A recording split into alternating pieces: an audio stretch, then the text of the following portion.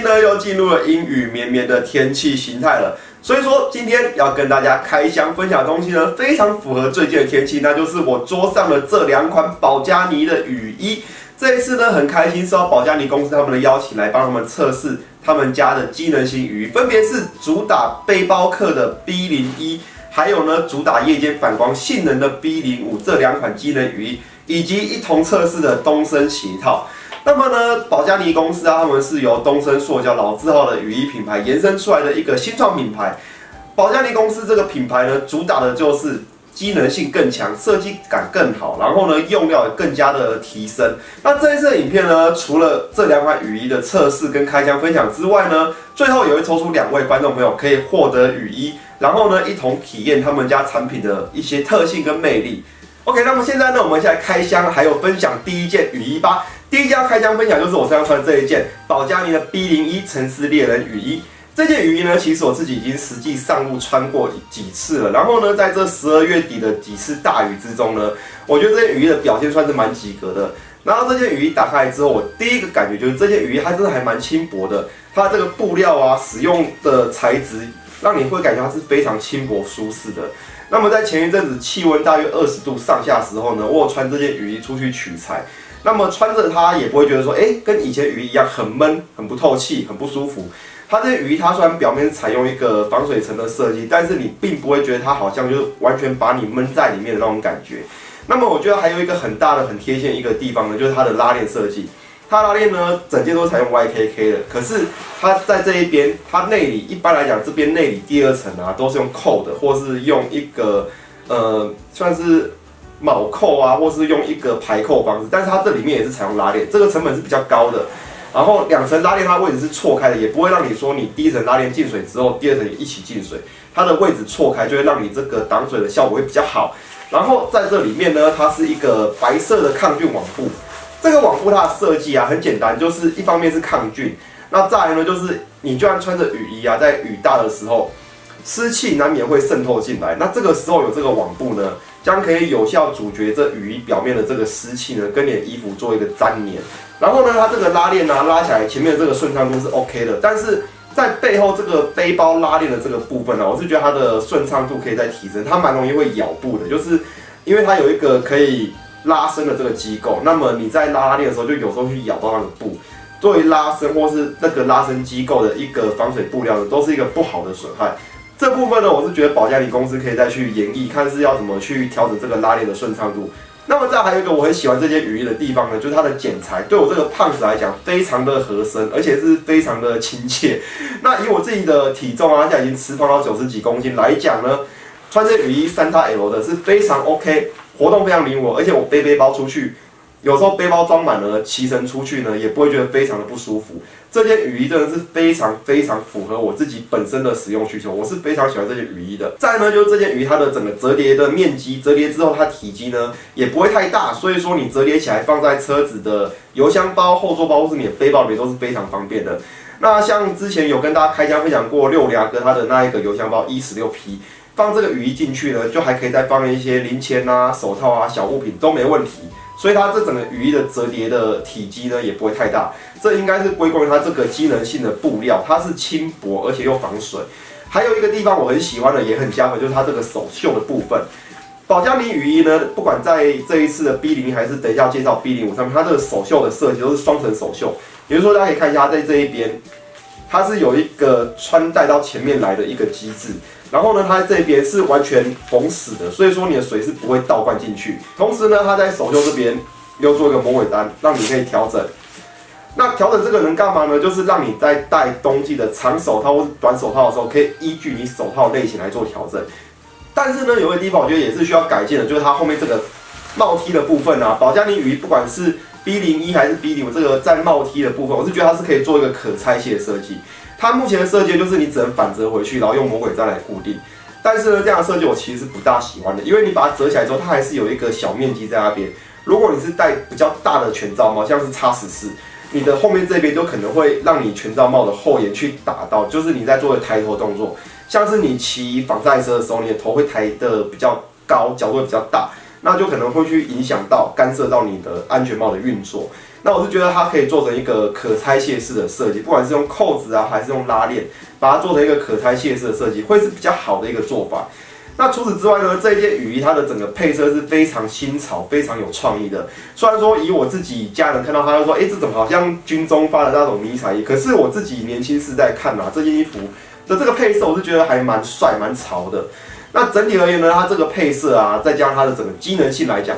我给这件雨衣的分数其实还蛮高的，因为它又有一个背包的功能，对我们这种挡车族来讲是非常非常不错的。那么在下半身的部分呢，B 零一这件雨衣它的整个下半身的雨裤啊，它的设计剪裁是非常多样化的。它在膝盖或是呃裤裆这边，它都有做一些分料分割的三 D 立体剪裁。这个设计呢是 B 零五所没有的。B 零一的这个雨衣裤的设计啊，它的剪裁就是非常的多样化，非常的完整。在裤脚这边，它有做一个可粘贴、可伸缩、可搭配你鞋套或是车靴做一个裤脚的调整，这也是蛮方便。但是比较可惜就是 B 零一这件雨衣啊，不管是在上衣还是下半身的部分，它对于反光条这个设计，它的琢磨就比较少，我觉得这是很可惜的。那在这一边，这个裤子这个保加尼的字样，它是有一个反光的涂料去做的，但是。它的反光的效能，我觉得是还不够好的，可以再加强的。那么上半身雨衣的部分呢？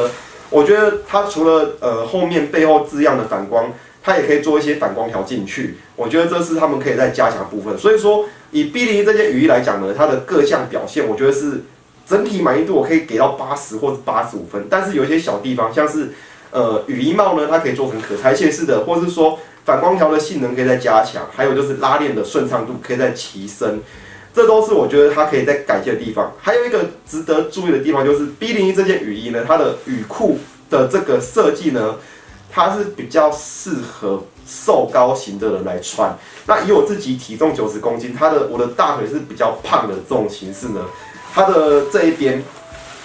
它的裤裆的这个部分呢，就可能会卡到它裤裆，它的裤腰到裤裆这个部分，我觉得是做的有点太浅了，它可以再做的深一点，造福我们这些胖子。但是如果你是体重大概七十到八十公斤，身高一百七十三以上的人来穿这件雨裤呢，就是 OK 的。因为这件雨裤我给六零阿哥他试穿过，他整件穿起来的感觉是非常的 OK，非常的合身。那这可能就是每个骑士身体的体态不同的问题，这个其实也不能去怪罪厂商，因为呢，每件雨裤雨衣它的剪裁设计基本上都有分不同的版次跟型号。那你可以做的呢，就是看看能不能换一个比较合适自己的雨裤吧，因为它这件雨衣的机能性，我觉得是蛮强的。那相对而言呢，雨裤我觉得是可以取舍去买过其他厂牌雨裤来代替，来符合我这个比较胖的身形。当然也可以看厂商愿不愿意推出一个比较大版的雨裤，就是在裆部这边或者在大腿部分做一点修改，比较符合我们这个胖子的体型。好，那以上呢就是这件 B 零一的介绍喽。在介绍完对挡车族还有背包客相当友善、相当亲民的 B 零一雨衣之后呢，接着我们来介绍就是我身上这一套 B 零五的极光机能雨衣。那为什么这套雨衣会叫做极光机能雨衣呢？就是在于它强调的是它夜间的这个反光性能。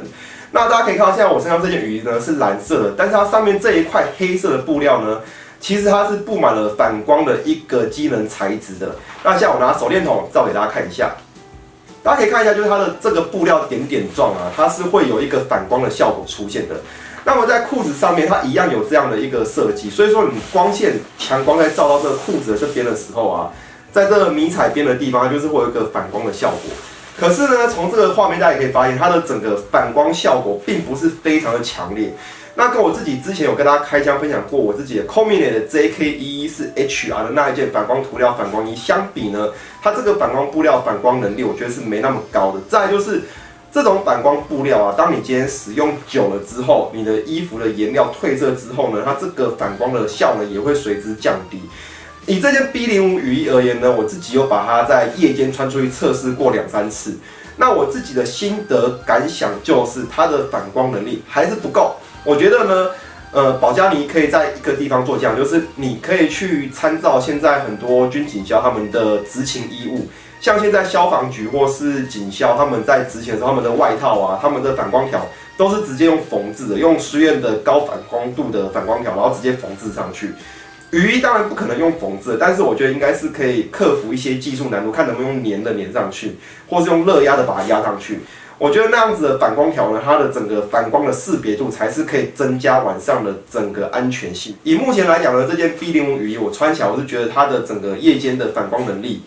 只能算是勉强及格而已。因为以刚刚我测试 B 零一来讲，B 零我就觉得它的反光能力已经有点不足了。那这件 B 零五它虽然是主打夜间反光的。但是我觉得它在反光条的一些设计，还有反光的一个强度上面，还是有空间可以再进步的。那么以这件雨衣撇开反光的这个机能来讲，它在机能面来来说呢，它的这件雨衣啊，一样跟 B 零一样有一个很棒的这个袖口设计，我非常的喜欢。它可以防止你的袖口海水倒灌。然后呢，它这个拉链一样是双层式的，然后一样是有左右错开，一样是用 YKK 的拉链。但是它在这个拉链的头的部分呢。在 B 零一这个地方是用一个热压的橡胶头，它的整个质感跟它的整个拉起来的感觉是比较好的。B 零五它这边是用一个布料缝制的，那这个布料缝制头呢，以我自己过往的使用经验呢，你用久了拉扯久，因为你在穿雨衣的时候，有时候可能是比较急，因为你可能是在户外穿雨衣，那那个时候你一边淋雨一边穿雨衣的时候，你就会比较急，那你可能就会动作比较大。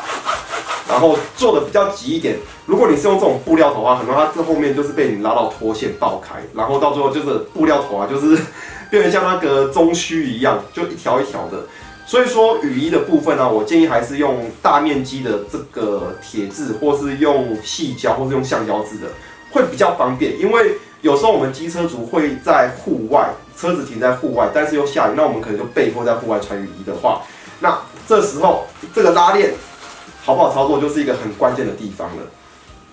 再呢，这件雨衣它虽然没有背后给背包做一个伸缩的一个机构，但是它这件雨衣它的版型是比 B 零一还要大的，所以说整体来讲，B 零五这件雨衣啊比较适合我们这一种体型比较宽大的使用者。然后 B 零五它这个雨裤呢，对于我这个体重九十公斤的胖子来讲，它也是非常合适的。它的这个版型剪裁比 B 零一的雨裤还要来得好。再呢，就是它这个雨裤一样有很方便的这个裤管的伸缩设计，但是呢，这个雨裤看起来就是比较平实、比较朴实，它就没有像 B 零一的雨裤有这么多的剪裁，这么多的一个立体的剪裁。最后呢，在本次的测试啊，我还要跟保家他们要求了一个鞋套来做一并的测试，因为要搭一整套嘛，因为我是骑挡车的，搭一整套会比较好测试。那么他们就寄了这一组东升鞋套给我。那这组东升鞋套呢，在经过我这几次的测试，大家可以看到它上面已经沾了一点泥巴之类的，就是我把它踏出门过了。那以最近这几期的测试来讲，我觉得这个鞋套真的就是还 OK，适合挡车族，挡车族可以买，因为。